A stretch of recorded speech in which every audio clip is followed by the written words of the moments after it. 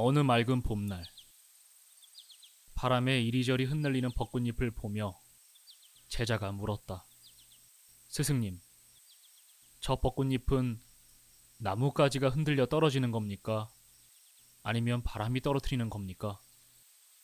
스승은 제자가 가리키는 곳은 보지도 않은 채 웃으며 말했다. 무릇 떨어지는 것은 나뭇가지에 달린 벚꽃잎이 아니고 바람에 흔들리는 네 머리털 뿐이다. 예? Last 탈모라이 내 이름은 김탈모 나는 어렸을 적부터 극심한 탈모에 시달렸다.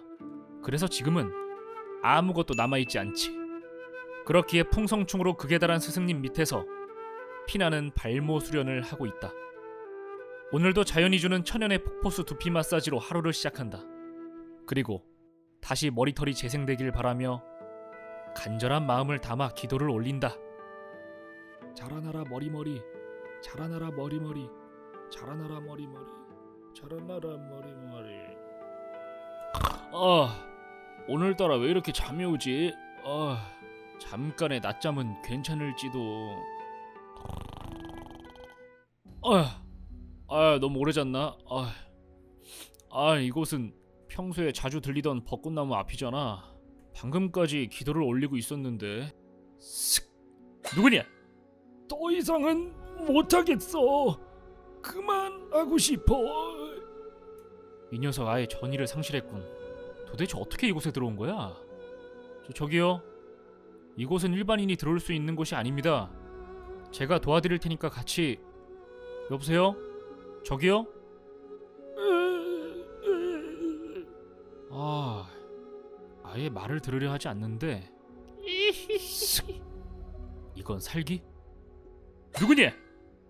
낄낄낄낄낄낄 빡빡이 녀석 죽어라! 자, 쓸. 요시. 오이 오이 잠깐! 그 사람은 이미 비겁하긴 저 미친 녀석을 계속 솔직히 놔둘 순 없어 간다! 헛! 쓸! 아니 뒤에도 야!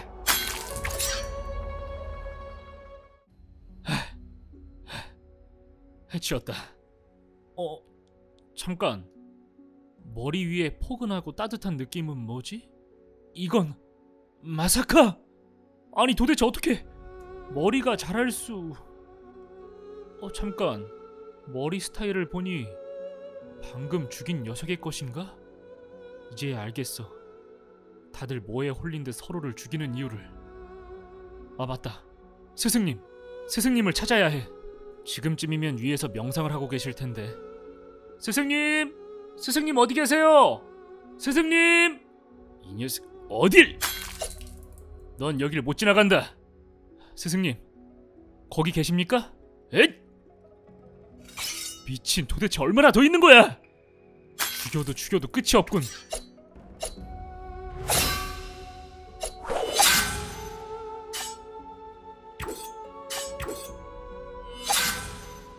스승님, 어? 스승님이 없다. 설마 이 녀석들에게 스승님이 아 아니야. 이놈들의 실력으론 스승님에게 상처 하나 내진 못한다. 아마도 살아 계실 거야. 스승님 어디 계신 겁니까? 도대체 이 지긋지긋한 머리털 쟁탈전은 언제 끝나는 거지? 그런데 머리털을 가지고 사륙을 벌이는 것이 정말 잘못된 것은 알지만 이 포근한 느낌 놓치고 싶지 않아. 이렇게 봐봐. 이 엄색한 머리털도 가질 수 있다고. 평소 같으면 꿈도 못 꿀 일이지. 평소 같으면 꿈도 못 꿀 일이었지. 나네? 아니 이건 탈모인들에게 기피 대상 1순위인 캔모자잖아. 안 돼. 두피가 숨쉬지 않으면 털이 죽어버린다. 빨리 다른 모발을 찾아야 해.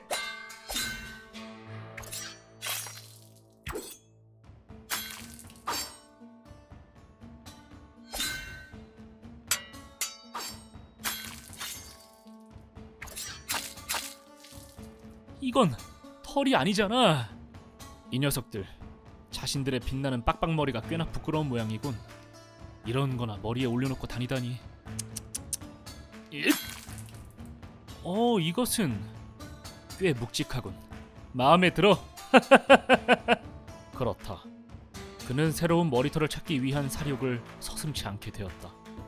하염없이 머리털에 대한 갈증만 심해질 뿐 더 이상의 죄책감은 없었다. 그는 중독된 것이다. 기어코 일을 저질렀구나 달모야. 스승님, 저는 이제 그 이름을 버렸습니다. 이제 김풍성이라고 불러주십시오. 이제 스승님을 죽이고 이 자리에서 그 이름을 이어받겠습니다. 그리고 그 풍성하고 윤기나는 머리털도 전리품으로 가져가죠. 넌 건너지 말아야 할 강을 건넜다 이 녀석아. 이대로 둔다면 무고한 사람들이 위험해지겠어. 더 이상 내버려 둘 순 없겠구나. 내가 거두어들인 짐승, 내가 책임져야겠지. 늙어 빠진 노인네 같으니라고 각오하시죠. 석시딩 유 마스터. 야! 야! 야! 어느 깊은 가을밤 잠에서 깨어난 제자가 울고 있었다. 그 모습을 본 스승이 기이하게 여겨 제자에게 물었다. 무서운 꿈을 꾸었느냐? 아닙니다. 슬픈 꿈을 꾸었느냐? 아닙니다. 달콤한 꿈을 꾸었습니다. 그런데 왜 이리 슬피 우느냐? 제자는 흐르는 눈물을 닦아내며 나지막히 말했다. 그 꿈은 이루어질 수 없기 때문입니다.